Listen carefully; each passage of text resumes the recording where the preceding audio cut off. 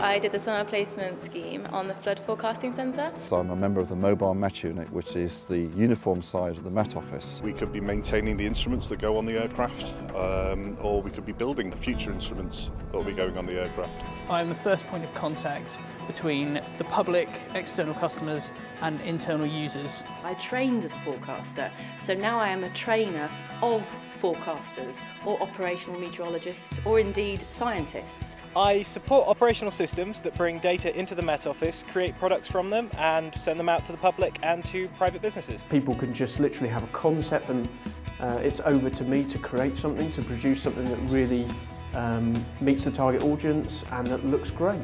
There are lots of opportunities that you can go on and actually work in other areas, so that is a very beneficial thing about working for the Met Office. From business to science to aviation to defence. And the fact that meteorology has such a huge impact on so many of us in our lives and the fact that we're always in the media, I think gives it something extra special as well. Being such a, almost a, an institution for, for the country and for the world, that does feel, feel really good to be a part of. It's a very scientific culture, I would say. Um, you know, that, that is what we're about, the Met Office. You know, we are at the forefront of, uh, of weather prediction. What I do notice here is the, is the kind of range and breadth of knowledge and skills. I think it's a real can-do culture. Um, we all pull together if we need to. And that means that if you're stuck, there's someone who's willing to help you get around the problem, use their expertise to help solve, make things that bit quicker and that makes it a great place to work. Of course it can at times of severe weather become quite, uh, quite challenging and quite busy, uh, but it's always really quite flexible and quite a fluid environment to work in. You turn up for work happy and you leave work happy. Everyone's equally talented, everyone's professional, and so there's no barriers to learning things and doing things, you just, you're one of the team. I have worked in other large organisations, but I think the thing that does make a difference here is that mix between the science and business and government. I'm a team leader forecaster uh, here at Aberdeen. There's so many different things that affect the weather, different impacts that uh, you can't always be sure what's going to meet you and greet you when you turn up in the morning. So yeah, no two days are the same. It's not just a, a, forecasting specific or forecasting focused area of work. You've got loads of scientists working on the top floor and looking into weather and climate, not just for the next year, but tens or hundreds of years. And that's right there for you to use if you want to. And the problems that we're working on in terms of um, climate science and weather science, they're engaging and you want to go and find that answer.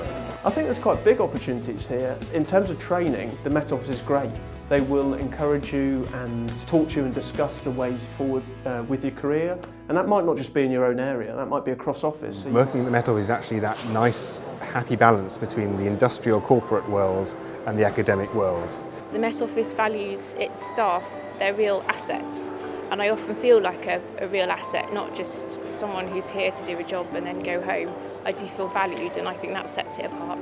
Well, being a little bit of a geek certainly helps. I've been really into the weather for, oh goodness, the last 10, 15 years or so. So that helps me and the fact that I can come to work and it's different every day is really exciting. It's a lot to do with satisfaction and, and, and working in an environment that you're very interested in. There's huge potential to get involved in all different projects across the office. I've been across to Gibraltar, I've worked through Germany and uh, we also we have people in Rwanda at the moment and Singapore. We also work offshore quite frequently and I work with uh, the wave models um, very directly. You know, the impacts of what we forecast are, are huge to uh, our customers. We've got a programme at the moment where IT trainees come in. They've, they've all been fantastic. You don't need a degree to apply for that, but you come in and you get to move around different teams to find out what you're best at. And pretty much everybody stayed, loved working here, and have all progressed up to higher, more senior roles. I think for someone my age, development is a massive factor. Um, they're very keen to develop you, and as I've just graduated, it's really um, great that an employer wants to do that. The main thing is knowing that today isn't going to be the same as yesterday.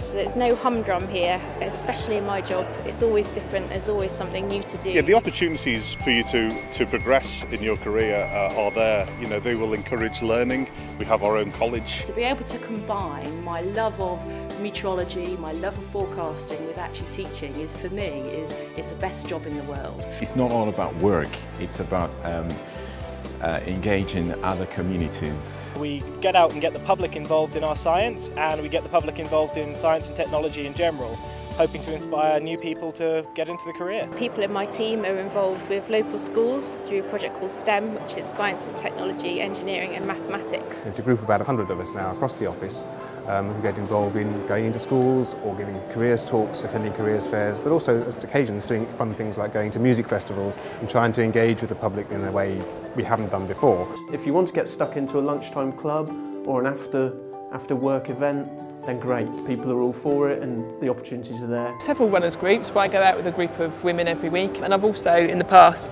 been involved in um, doing lunchtime language club as well, learning Spanish. If you're sporty, we obviously have the gym. But there's also the Cycle to Work scheme and there's also a great pension, which is a bit weird for someone my age to say, but it's something that's quite relevant. I'm six months pregnant and the benefits that I can get um, through maternity leave and my partner's paternity leave is just incredible and I feel very privileged privileged to work here. I'd say fulfilling, as a forecaster and meteorologist especially, that every day is different, no weather situation is identical. I think it's just a nerdish love of the weather.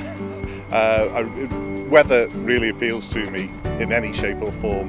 Um, so the fact that I can go and work in something that I'm particularly interested in makes me get out of bed in the morning. I would say diverse, given the number of different jobs you can do and the impact we have on so many people in so many walks of life. I think one word's very difficult, but I would say worthwhile.